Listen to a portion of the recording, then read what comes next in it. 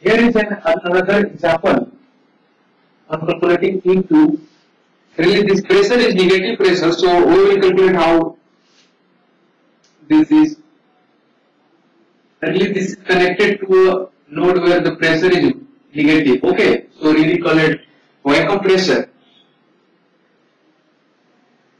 so this is looking something like this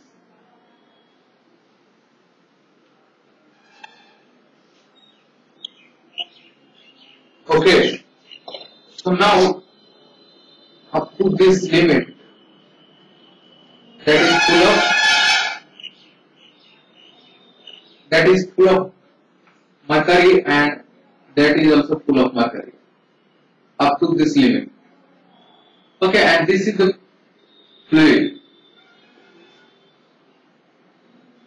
From where this node is connected. And there is a vacuum pressure that is in negative pressure okay so this suction is in upside so this is given at 15 and that is 15 centimeter and this is okay 40 centimeter.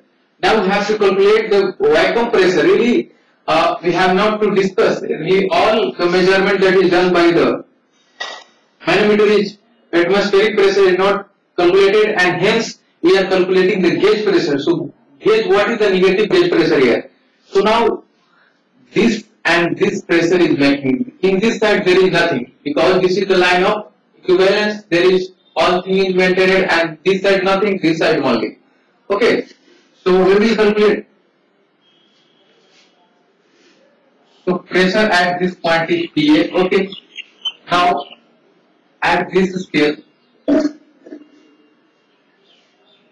this is 40 centimeter of mercury. So plus 40 into 13.6 we are converting this into water height. Okay, water height.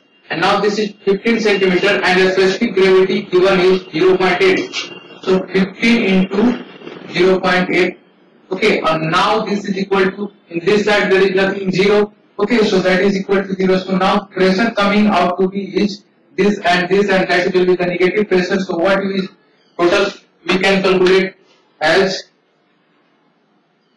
40 multiplied by 13.6 okay plus 15 multiplied by 0.8 okay so that is equal to 5 okay so this will go here so minus 5 5 6 centimeter of water so really this is 5 6 centimeter of water. This is giving that the pressure is negative pressure. Okay, so some pressure is going inside.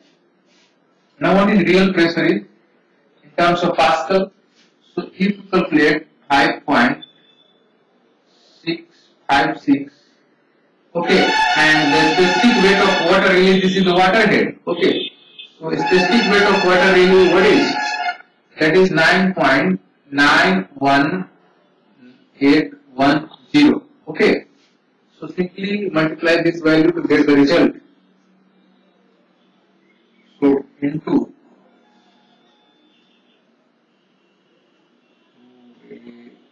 into 986 Pascal. Okay. So this is our answer.